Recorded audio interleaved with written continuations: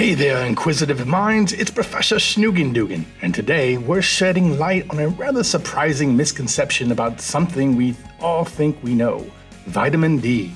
Now, when you hear vitamin D, you probably think it's a vitamin, right? Well, not exactly. It's time to debunk that idea.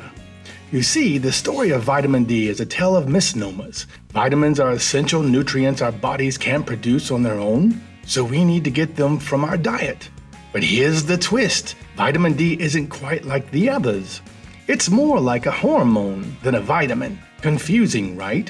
Here's why. Our skin has this fantastic ability to make vitamin D when exposed to sunlight. And guess what? Our bodies can also produce it from cholesterol.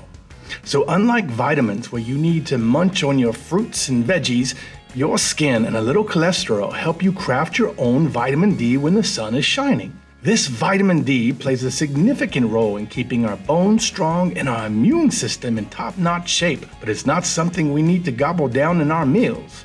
And here's the kicker, my friends a lack of this vitamin D can lead to all sorts of issues. It's not just about strong bones, it's about your mood too. Low levels of vitamin D have been linked to mood swings and even seasonal blues. It's like your body's way of telling you to catch some rays. So the next time someone tells you about this vitamin, you can enlighten them with the truth. Vitamin D is more like your body's sun powered hormone, making sure you stay healthy, active, and in good spirits. And that, my friends, is the fast fun fact about the vitamin that isn't quite a vitamin at all, and how it can brighten your day in more ways than one. Until next time, stay curious, catch some rays, and keep those spirits high. Toodaloo!